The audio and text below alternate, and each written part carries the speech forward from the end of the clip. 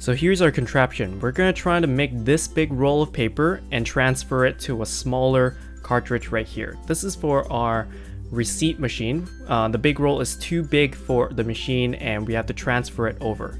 So what we made here is a cartridge with holes in the middle with our worm gears stuck inside um, with masking tape taped around it and fit into the holes. So we can have our axle right in the middle and not uh, having the cartridge moving back and forth. So now we're gonna put it into the motor. There we go. All right, very nice, getting it nice and tight. Okay, so it's moving nicely. Alright, so we have our large roll.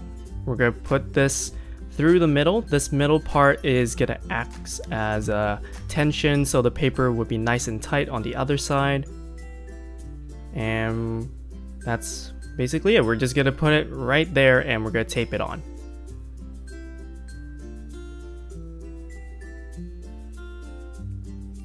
There we go. Nice and smooth. Okay. So we're all set right there. Now we want to know where, uh, which side the motor's gonna spin. So we go on the other side.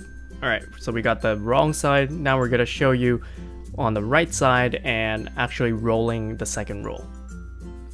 Okay, very nice. So it's rolling over, uh, very steady. Um, it's a little shaky, but it's actually fine. Um, we just need it a little freely moving. So you can see right now the larger roll is moving over the smaller one slowly and slowly gathering up the layers. Um, so yeah it's like you can see it right there. It's uh it's rolling over.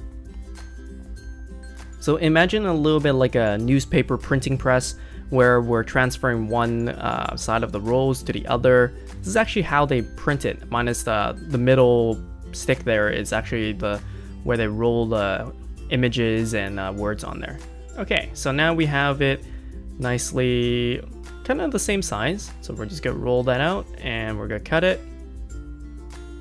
There we go.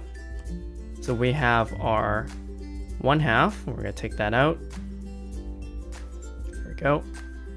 So you can see, so there's the axle. It uh, we have to kind of tighten it a little bit because it does get a little loose. So uh, there we go.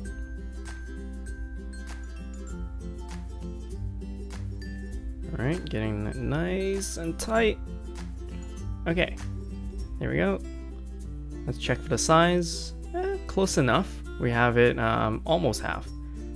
So then we're gonna tape that. Right there.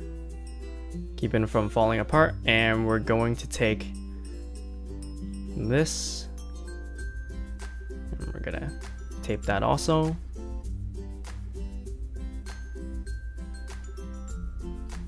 Good. Alright. Now, uh, I think it's time for us to take the axle out. So all the plugs with the worm gears and a tape.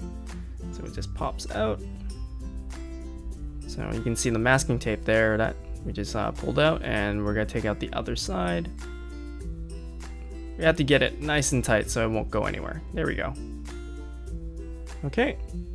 Alright, there's both of them. Uh, solved by LEGO and technology. Alright, thanks for watching.